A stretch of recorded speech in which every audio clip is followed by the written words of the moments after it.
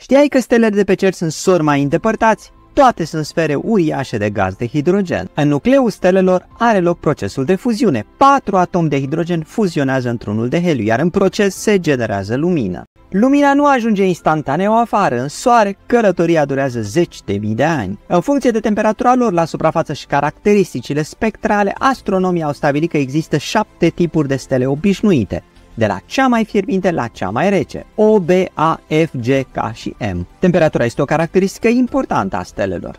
Ea este cea care le dă culoarea. Practic e invers ca la bateria de la ghiuvetă. Când culoarea este mai roșie, stelele sunt mai reci, iar când culoarea este albastră, stelele sunt mai fierbinți. Acestea pot fi și de 5 ori mai fierbinți decât soarele nostru. Cu cât steaua este mai mare, cu atât straturile exterioare sunt mai multe și apasă mai tare pe centrul său, astfel că hidrogenul de acolo fuzionează mai puternic. De aceea, stelele mari sunt mai strălucitoare și mai fierbinți. Paradoxal, ele trăiesc mai puțin pentru că e ca la paie, ard mai repede. După ce ai auzit aici, poți spune dacă stelele de la începutul Universului care s-au format când densitatea de hidrogen era mare, au trăit puțin sau mult?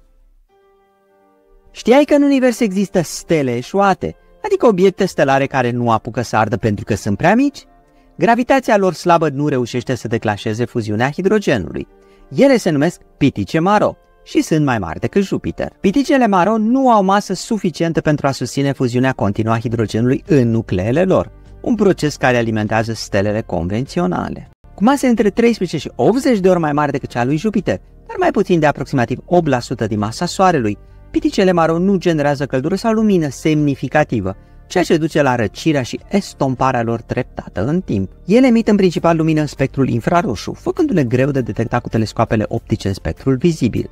În telescoapele cu infraroșu însă, spectrele sunt dominate de molecule precum metanul, amoniacul și apa, ceea ce le face mai ușor de identificat. Piticele maro tind să aibă perioade de rotație rapidă, unele rotindu-se pe axa lor în doar câteva ore. De la descoperirea lor în anii 1990, piticele maro au devenit un domeniu activ de cercetare în astrofizică. Ele ne ajută să înțelegem și exoplanetele, deoarece împărtășesc multe caracteristici cu planetele gigante gazoase, așa cum este atmosfera. Știai că stelele pitice roșii pot trăi mii de miliarde de ani? Piticele roșii se nasc puțin mai mari decât cele cenușii. Culoarea roșie le trădează temperatura scăzută. Gravitația piticelor roșii abia este în stare să pornească fuziunea hidrogenului.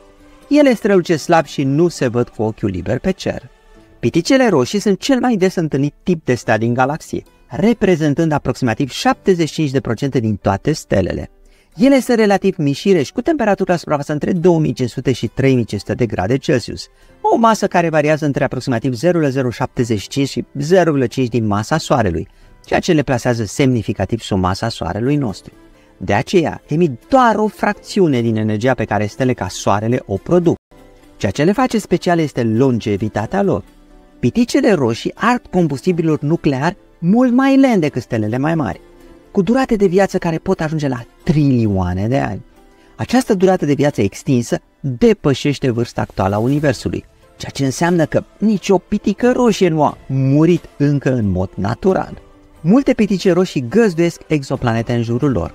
Pentru că nu emit multă lumină ultravioletă, condițiile de pe planetele care orbitează în apropierea lor ar putea fi propice pentru susținerea vieții. Un exemplu este sistemul TRAPPIST-1, unde șapte planete orbitează o pitică roșie. De aceea, un telescop ca James Webb caută exoplanete locuibile care orbitează în jurul piticelor roșii, în apropierea lor, unde este mai cald. În ciuda provocărilor, cum ar fi erupțiile stelare datorită câmpurilor magnetice puternice, se speră că pe o exoplanetă din jurul unei pitice roșii am putea descoperi pentru prima dată viață. Știai că Soarele este de fapt o pitică galbenă? Stelele numite pitice galbene sunt mai mari decât cele denumite pitice roșii. De aceea, fuziunea devine mai eficientă, scurtându-le viața la câteva zeci de miliarde de ani. Stelele pitice galbene, cum este Soarele nostru, sunt o clasă de stele de mărime medie, aflate în secvența principală, caracterizate prin culoarea lor gălbuie și temperaturi relativ moderate ale suprafeței au temperaturi la suprafață variind între aproximativ 5.000 și 6.000 de grade Celsius. Piticele galbene sunt alimentate de fuziunea nucleară a hidrogenului în heliu în nucleul lor, un proces care emite o cantitate semnificativă de lumină și căldură. Deși sunt denumite pitice, aceste stele pot fi destul de puternice și luminoase. Soarele nostru, de exemplu, are o masă de aproximativ 300 de mii de ori mai mare decât cea a Pământului și radiază energie la o rată de miliarde de miliarde de gigavați. Durata de viață a stelor pitice galbene este relativ moderată în termeni cosmici, variind între 8 și 10 miliarde de ani. Pe măsură ce îmbătrânesc, piticele galbene devin mai fierbinți și se extind, ajungând gigante roșii. Această transformare marchează sfârșitul fazei stabile a ciclului lor de viață. După ce pierd straturile exterioare, în urma lor poate rămâne o pitică albă. Piticele galbene sunt importante pentru noi, stabilitatea și longevitatea lor le fac gazde favorabile pentru planetele locuibile. De aceea, telescoapele spațiale caută planete asemănătoare Pământului în jurul piticelor galbene.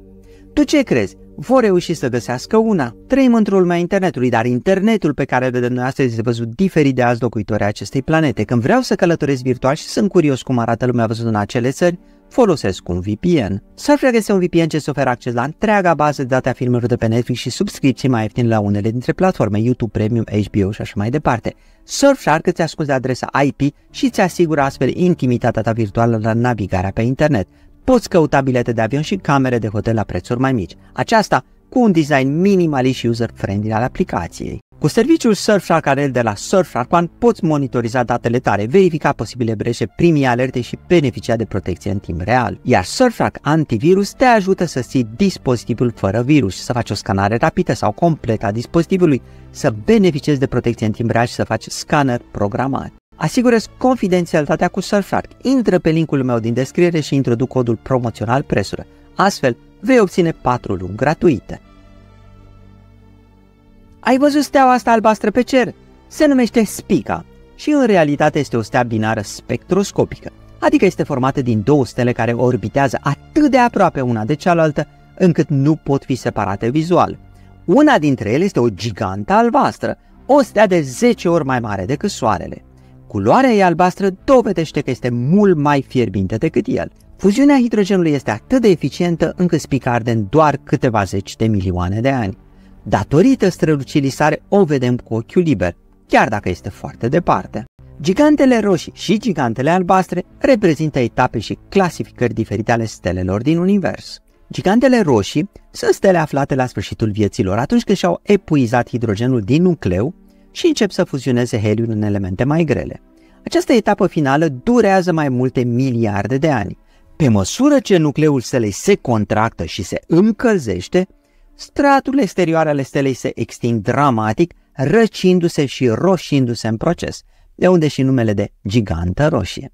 Aceste stele se pot umfla până la dimensiuni care sunt de sute de ori mai mari decât dimensiunea lor originală. În contrast, gigantele albastre sunt stele masive încă de la începutul vieții lor. Ele fuzionează combustibilor mult mai rapid decât stelele mai mici, cum ar fi soarele nostru. Gigantele albastre sunt fierbi și luminoase, cu temperaturi ale suprafeței variind de la 10.000 la 50.000 de grade Celsius, conferindu-le o culoare albastră distinctivă.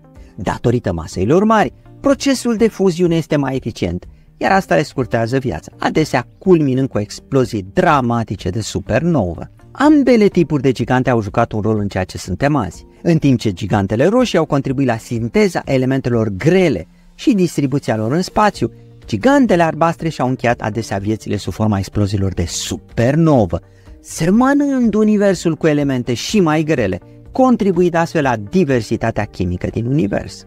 Atomii grei din tine au făcut parte odată din astfel de stele gigante. Știai că cea mai mare stea cunoscută de noi e UI Scuti, aflată în discul căii lactee, clasificată uneori ca hipergigantă roșie, White Scuti are o rază de 1700 de ori mai mare decât a Soarelui. Stelele hipergigante se numără printre cele mai masive și luminoase stele din univers, reprezentând limita superioară extremă a evoluției stelare. Pentru că sunt așa de mari, procesul de fuziune este foarte eficient, iar asta înseamnă multă energie. Datorită producției lor colosale de energie, hipergigantele sunt adesea instabile. Ele pierd materie prin vânturi stelare puternice materie care apoi poate contribui la formarea unor nebuloase. Hipergigantele sunt clasificate în două tipuri principale, bazate pe temperatura lor.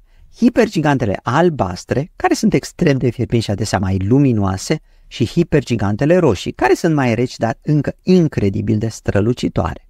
Exemple includ Eta carinae, o hipergigantă albastră bine cunoscută, și VI Canis majoris, una dintre cele mai mari hipergigante roșii cunoscute.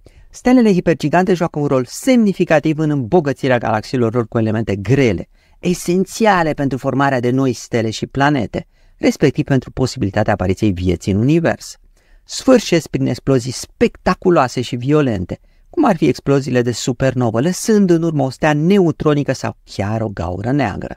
Vă mulțumesc că ați urmărit videoul până la capăt și le mulțumesc celor de la Surfrag pentru sponsorizare. Nu uitați de linkul meu din descriere. Astfel vă asigurați confidențialitatea cu Surfrag și obțineți 4 luni gratuite. Până data viitoare, eu sunt Cristian Presuro, voi sunteți numai cool și vă doresc numai de bine. La revedere!